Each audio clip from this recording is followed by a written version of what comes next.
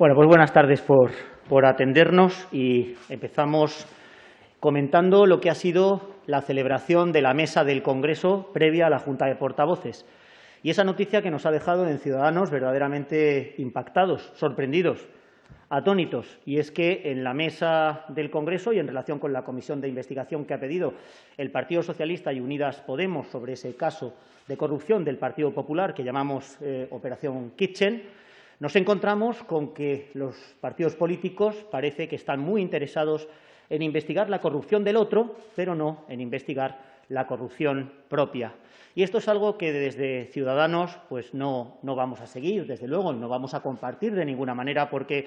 mi partido, desde luego, hoy en día se ha quedado como el único partido que lucha contra la corrupción y que, desde luego, está dispuesto a que no se deje de investigar ningún episodio de corrupción de ningún partido político.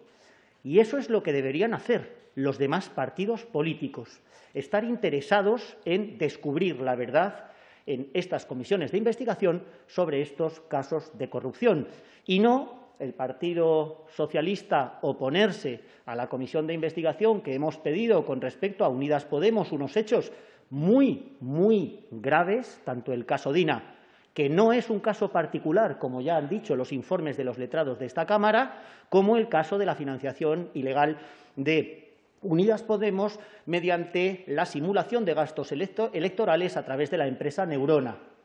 Y en el mismo sentido, en el otro lado, en relación con la operación eh, Kitchen, cuyos hechos conocemos todos y también son gravísimos, es evidente que nos gustaría que todos los grupos parlamentarios votaran en favor para que los ciudadanos supieran la verdad porque en democracia la transparencia no es voluntaria, no es optativa, es obligatoria, es un principio básico de la democracia. Ciudadanos somos los únicos que al final defendemos esta lucha sin excepción, sin excepción contra la corrupción, venga de donde venga. Y en este sentido ya les pongo de manifiesto que eh, volveremos a presentar nuestra ley anticorrupción. Conocen ustedes que en el debate de esta ley anticorrupción, en su toma en consideración, los distintos grupos políticos, a excepción del Partido Popular y de Vox, votaron en contra de nuestra ley anticorrupción, ley que, por otra parte, además llevaba consigo la transposición de la Directiva Europea de Protección del Denunciante y ahora en fin, ¿qué quieren que les diga? Con las cosas que está contando el señor Calvente en relación con esos acosos que está recibiendo por parte de gente alrededor que se encuentra en el entorno de Unidas Podemos, ya nos podemos imaginar por qué nos votaron en contra de la transposición de esta directiva, que si estuviera en vigor, que si estuviera en vigor la ley que la transpone, desde luego protegería en una situación de absoluta indemnidad a todos los denunciantes de corrupción. La volveremos a presentar y que nos voten que no, pero desde luego la volveremos a presentar. Vamos a tardar en presentarla probablemente una semana porque vamos a superar todas esas objeciones que en el debate anterior nos pusieron los distintos grupos parlamentarios para no querer aprobar una ley integral contra la corrupción. Muy resumidamente, ya saben ustedes que reformamos el Código eh, penal, creamos dos nuevas figuras delictivas, establecemos la responsabilidad penal y civil, sobre todo de los partidos políticos por los cargos eh, electos, e impedimos el indulto de los delitos de corrupción, además de transponer la directiva europea. Y ya por último, señalarles que en el Pleno, que comienza esta tarde a las tres, el Grupo Parlamentario de Ciudadanos lleva una interpelación relativa a la protección del personal de tropa y marinería. Miren, el Ejército, los militares, han demostrado que estaban ayudando a la sociedad española en momentos duros de la pandemia. La Unidad Militar de Emergencias acude al rescate en situaciones también muy tensas, de incendios, de grandes catástrofes. Durante la pandemia, desde luego, el Ejército ha echado una mano a las fuerzas y cuerpos de seguridad del Estado. Yo creo que la sociedad española se encuentra agradecida al Ejército cuando montaba los hospitales de campaña y el Estado deja tirados al personal de tropa y marinería cuando cumplen 45 años. Tratamos de que esto no sea así y por eso hemos presentado esta interpelación y contesto a sus preguntas.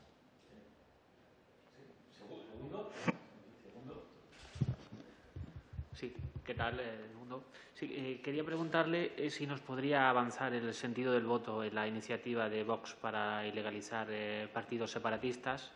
Y luego le quería preguntar, eh, ¿qué le parece que el vicepresidente, el señor Iglesias, se reúna eh, con grupos parlamentarios de esta casa por separado a, la vicepresidenta Calvo para negociar los eh, presupuestos? Gracias. Vale, respecto a la primera, yo creo que se entiende si le digo que no la vamos a apoyar y no nos vamos a oponer. y en este sentido, en fin,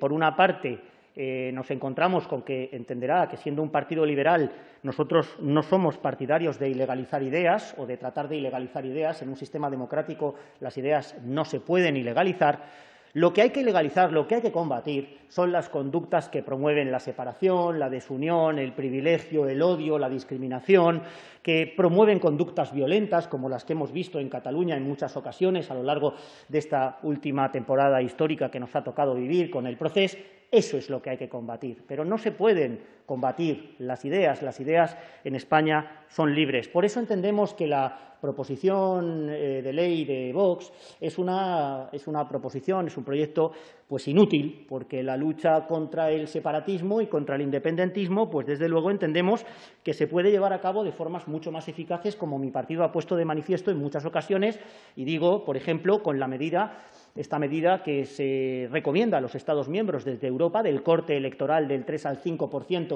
en todo el territorio nacional para tener representación en el Congreso y sin perjuicio de reformar el Senado para que sea una Cámara de representación eh, territorial, el no abonar subvenciones a organizaciones que están patrocinando actos violentos o que están poniendo de manifiesto eh, políticas de odio en relación con personas que no piensan igual eh, que ellos. Y, desde luego, y en tercer lugar, y en el momento en el que nos encontramos, sobre todo, la alianza, la unión entre los partidos constitucionalistas al objeto de hacer irrelevantes a los partidos independentistas. Es por eso por lo que en la,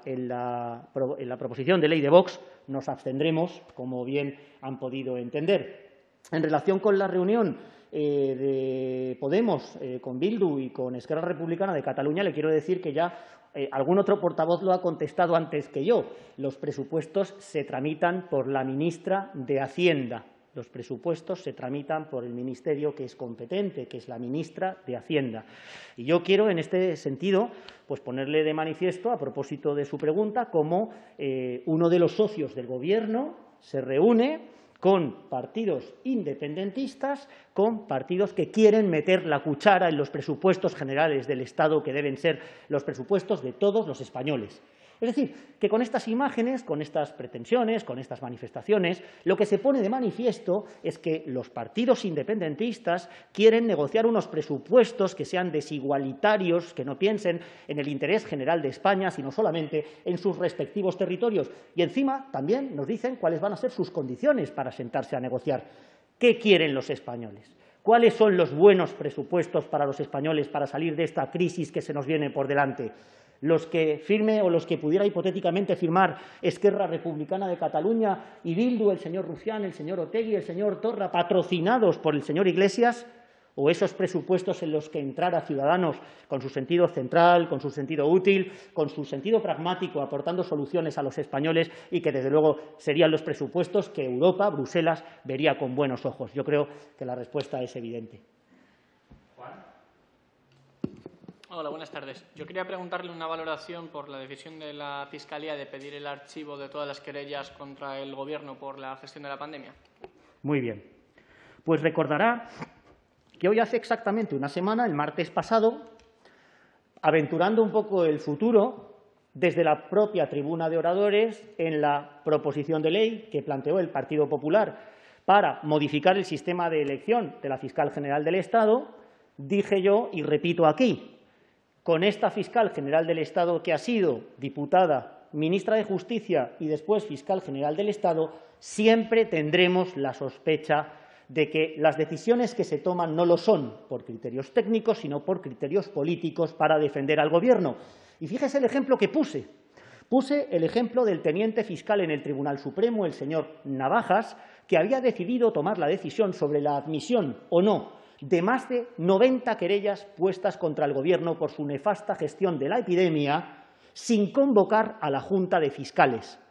Pues no hemos tardado más que una semana en encontrarnos con esa decisión, que ya digo, se ha tomado sin convocar a un órgano consultivo muy importante que tiene naturaleza técnica, que es la Junta de Fiscales de Sala, y lo más importante, en cuanto al fondo del asunto, existirán unas opiniones o existirán otras, pero lo que sí le digo es que durante toda la legislatura y hasta que cese en su cargo la señora Dolores Delgado, en todo este tipo de decisiones siempre vamos a tener la sospecha de la duda de que tome las decisiones no por criterios técnicos, como tiene que hacer la Fiscalía en virtud del principio de imparcialidad, sino por criterios políticos de protección al Gobierno por haber sido ministra de Justicia y diputado del Grupo Socialista.